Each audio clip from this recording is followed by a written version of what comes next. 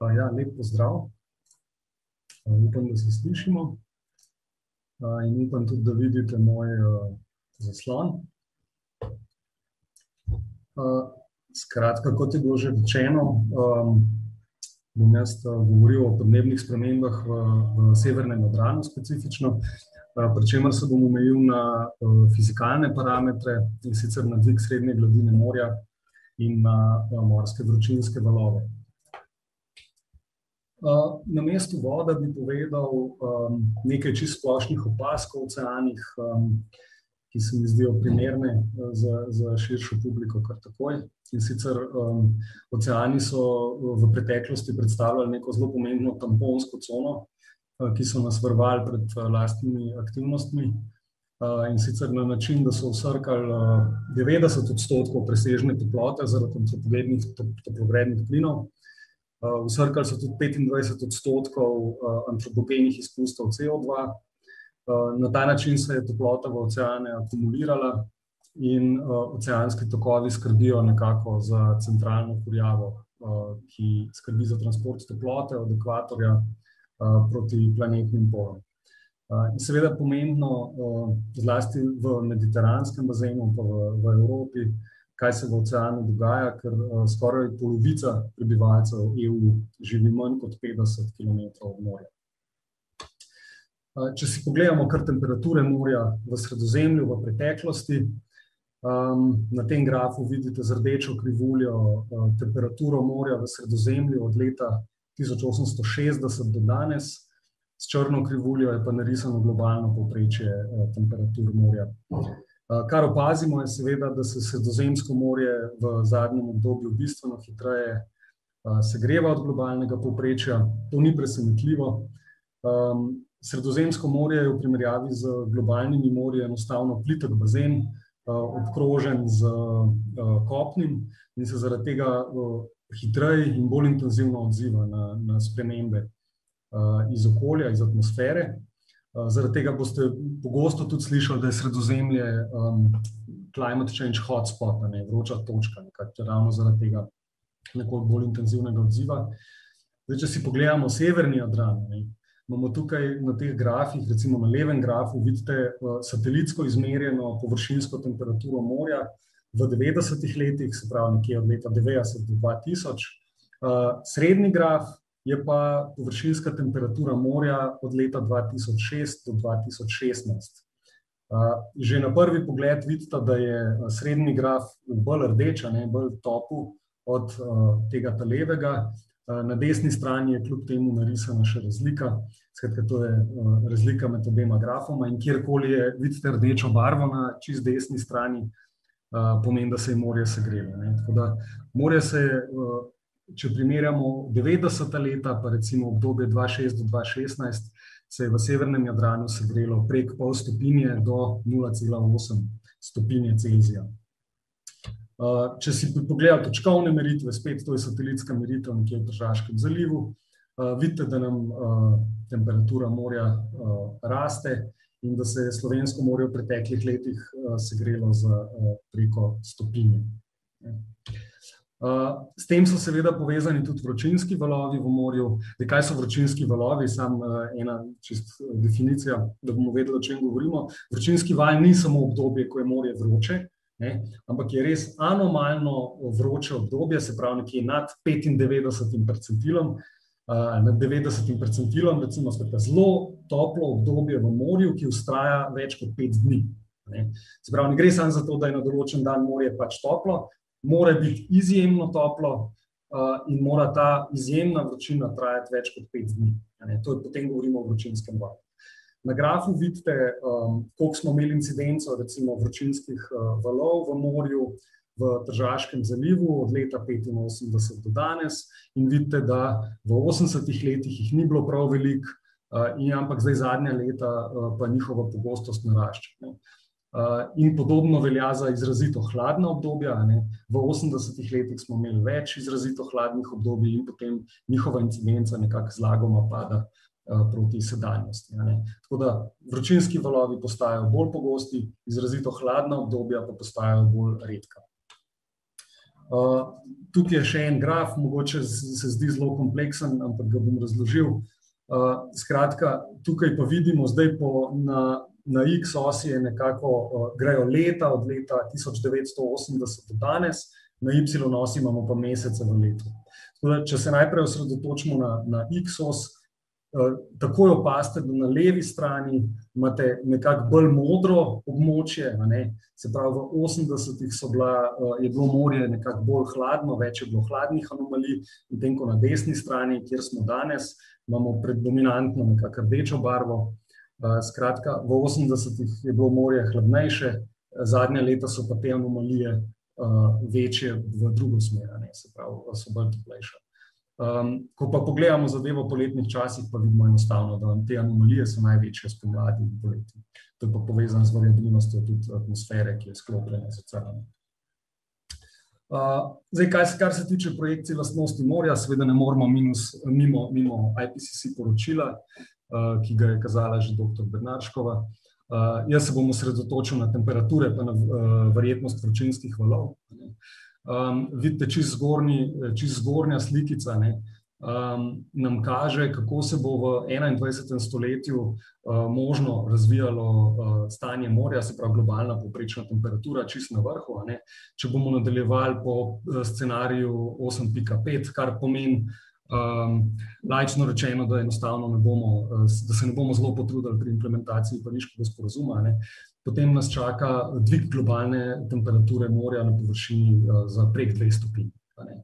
Če bomo pa, se zelo potrudili, implementirali v polnosti Pariški sporazum pa naredili še kaj, ne, potem bo pa celo prišlo do, potem bomo pa nekje na recimo pol stopinje do eno stopinjo nad, predindustrijsko, pardon, nad obdobjem šestinosemdeset-dva tisoč pet, ne.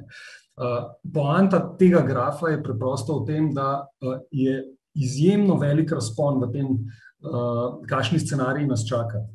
Če se, če se potrudimo, se nam bo to zelo obrestovalo, če se pa ne bomo, ne, če bomo živeli tako naprej, kot, kot živimo danes, bomo imeli pa izjemno hude težave.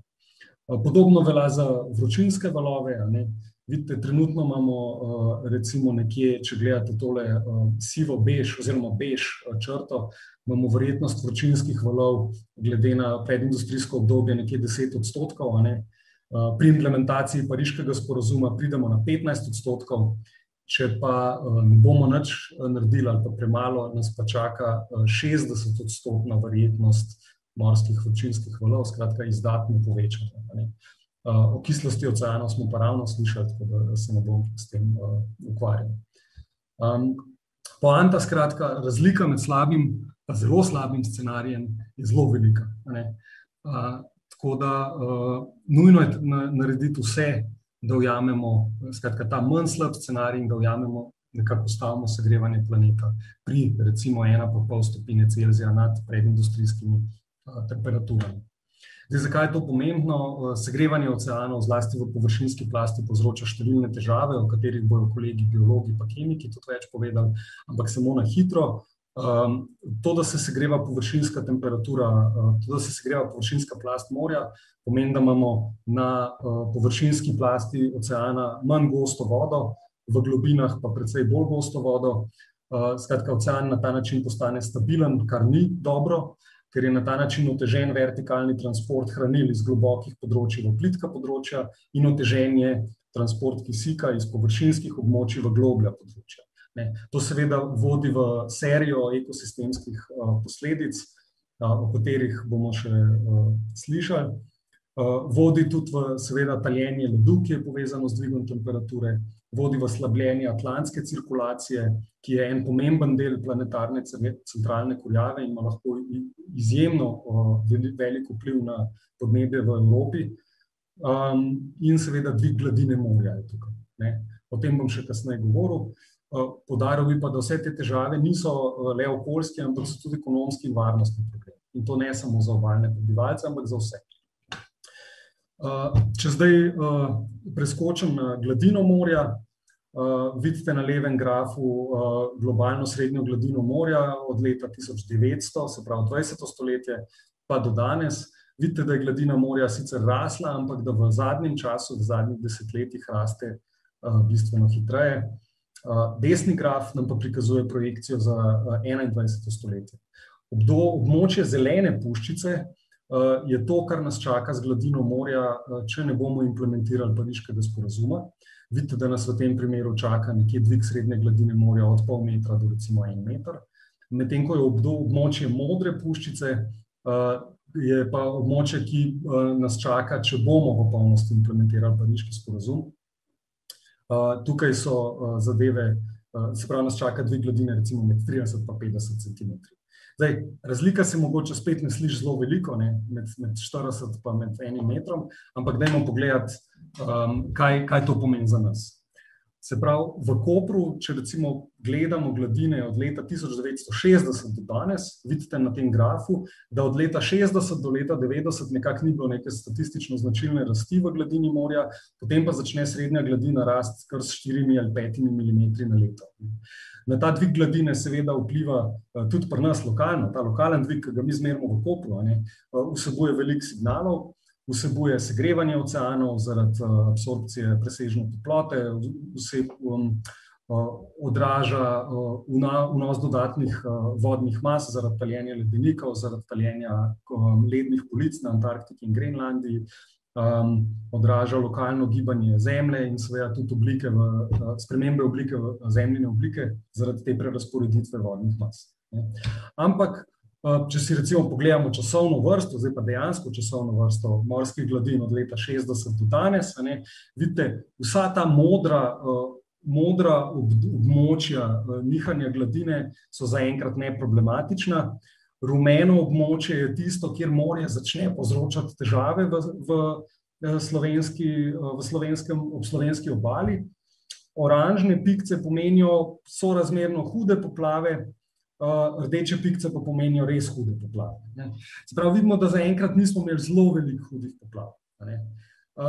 zdaj, kaj nam sporoča dvig srednje gladine morja za trideset centimetrov, kaj to pomeni? To pomeni recimo v severnem Jadranu nekje dvajsetkrat več poplav. medtem ko en meter dviga gladine morja pomeni pa tole. Če se nam bo srednja gladina morja dvignila za en meter, potem bi, če skratka te prihodnje okoliščine nekako transponiramo na današnje kriterije, ne, bomo imeli toliko izjemno hudih poplav, kakor vidite rdečih točk. Skratka, en meter je razlika med temle, med tole situacijo pa tole situacijo, ne. Skratka, dvig gladine za en meter pomeni poplavo praktično vsak dan, ne glede na to, a imamo jugo, a imamo nizek pritisk, skratka, ob lepem vremenu visok pritisk, sama plima bo poplavljala vsak dan, ne. Skratka, na to, to je nekaj, s čimer moramo računati. zdaj, kar se tiče recimo severne Jadranske obale širše, ne, ob dvigu gladine za en meter, na levi strani vidite italijansko obalo in rdeča območja so območja, ki bi bila poplavljena, če se srednja gladina morja dvigne za en meter, ne.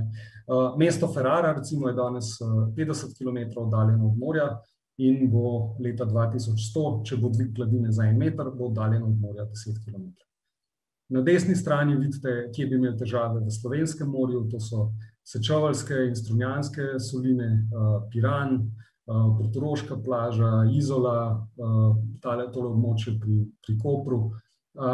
skratka, cel kup enih težav, ampak moja glavna poanta tukaj niti ni ta, da bi mi imeli neposredno s poplavami težave, kar jih seveda tudi bomo imeli, ampak je ta, da dvig gladine za en meter ni enostavno dvig gladine za en meter, ne.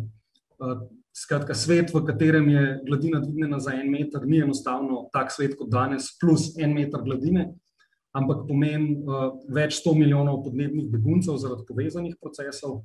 Trenutno na področjih, ki bodo poplavljena, živi sto milijonov ljudi, skratka, ki bodo neposredno poplavljeni, tako da teh sto milijonov bo definitivno moralo nekam pobegniti. Skratka, en meter pomeni izgubo kopnih površin, pomeni pogostejše vdore morske vode v namakalne sisteme, obalno erozijo bolj intenzivno, in pomeni na atmosferski strani pogostejše vročinske valove, več neurij, več poplav, hkrati tudi večjo sušo, in pogostejše požare. Sredozemlje je obdobje, območje, kjer ima že danes izhlapevanje recimo dominira nad rečnimi vnosi in padavinami, kar se kompenzira z odtokom površinske vode iz Atlantika. v prihodnosti pa napovedujejo več izhlapevanja in manj padavin, tako da bo ta proces še bolj izdaten. In obenem to pomeni seveda tudi nepredvidljive ekosistemske spremembe, o katerih smo, smo že nekaj slišali, nekaj pa še bom. Tako, jaz bi s tem zaključil. Najlepša hvala za pozornost in se potem vidimo v razpravi.